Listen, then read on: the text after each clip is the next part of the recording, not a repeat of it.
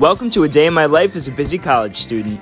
Today's Wednesday morning, so as always, we go for a quick morning run and then head home and break our 40 hour weekly fast. If you want more information on that, let me know.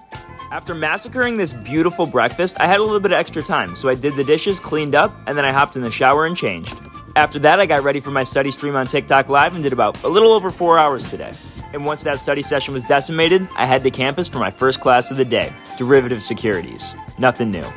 Here's a nice little shot of campus. Very moist outside today. Class number two is Advanced Financial Methodology. Once my classes wrap up for the day, it's time for me to head back home. It's still sopping wet outside.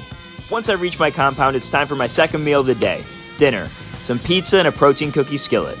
I clean up and do the dishes, and then I have about five more hours of studying for a massive exam I have this week. And that's the day. Good night.